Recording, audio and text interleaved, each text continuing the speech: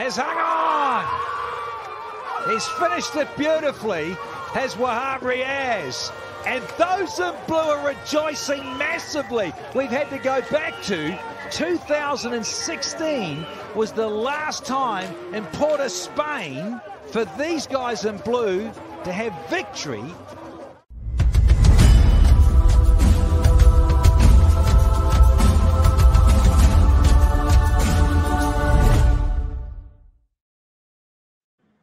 Tim Seifert was going at a gazillion miles an hour until that over of Wahab Riaz.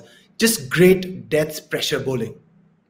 Yeah, and here in the commentary, I mentioned that to go way back to 2016 for St. Lucia to have victory over TKR. Such was the dominance of those in red and black up against uh, the St. Lucia franchise. And yeah, he was extraordinary. And it was funny because when you look at this, Carter's, in terms of form and, and tournament play, that they got absolutely smashed by uh, the Jamaica Tallawahs, 255, and they were so off the mark, St. Lucia.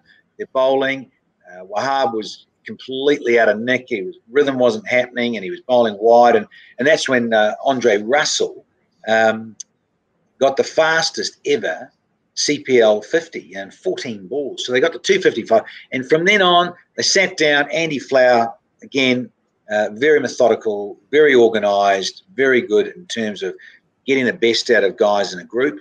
Um, and clearly a, a, lot of um, experience, Andy Flower. So they you know, they really did their credit, turn it around, and guys stepped up. Wahab certainly stepped up, got his rhythm happening, bowled quick, great changes of pace, ironed out a lot of the no ball rhythm thing a bit and um, and, and lessened the wides. Um, I get the wide thing, you know, you can't, you're going to get that trying to bowl wide Yorkers, but he, you know, he got his he got his rhythm together, and and certainly that that there that, that Rario moment underlined it. Uh, Danny, uh, that last ball that we saw in the moment, which was you know just just short of a length, and you know with with a batsman like Tim Seifert bowling at forty, uh, batting at forty or fifteen balls, uh, going for the pull, uh, that was a bit of a gutsy ball, was it not? Yeah, and you can over it, but then again, that just underlines his pace. Um, again, he's prepared to slip that in there um, and stepped it up a gear because he let that go at full velocity, and it just showed you Seifert, as you rightly mentioned, Carter, he was in a groove and going some. Uh, all of a sudden, gets that, and whether, uh, in a way, Seifert wasn't quite expecting that there, but it was actually, you know, it was it was good length into the surface, um, and, it's, and it just zipped through with extra pace. And um, did he? It's great. Good moment. Indeed. Indeed. Thank you, Wahab Riaz, on behalf of all the St. Lucia Kings fans for notching up this memorable victory. Great moment.